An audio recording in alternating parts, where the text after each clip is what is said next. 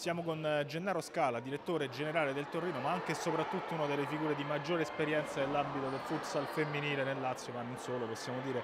Ci può raccontare un po' quella che è la sua esperienza, il suo punto di vista su quello che è il calcio femminile, il calcio a 5 femminile nella regione Lazio?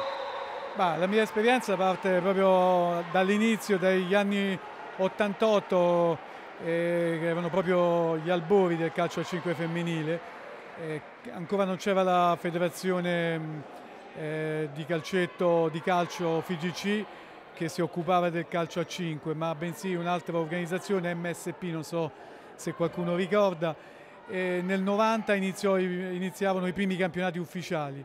Io come esperienza posso dire sono stato allenatore per, eh, fino al 95, eh, ho, ho, partecipato ai primi campionati di Serie C, all'epoca non esisteva ancora la Serie A, eh, si faceva una Final Four finale eh, a fine stagione con tutte le altre vincenti delle altre regioni d'Italia.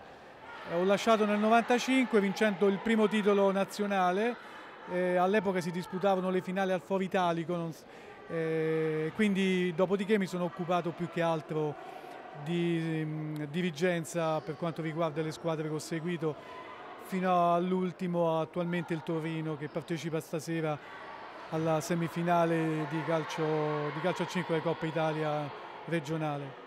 Ok, una piccola curiosità, com'è diciamo, il salto della barricata da allenatore a dirigente? Ma è chiaramente completamente diverso perché come allenatore tu vivi le situazioni, non solo le vivi ma le devi modificare in tempi brevissimi se vuoi ottenere dei risultati.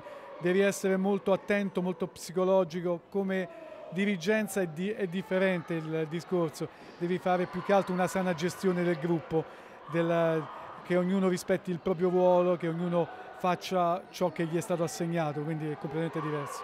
Ultima cosa, una curiosità inevitabile, cosa, quali sono stati i mutamenti più profondi secondo lei nel calcio a 5 femminile dagli anni in cui lei era sul campo adesso?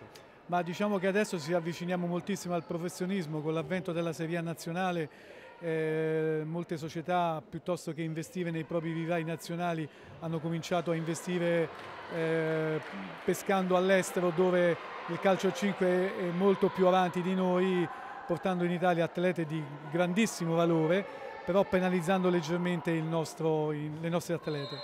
Okay, io la ringrazio.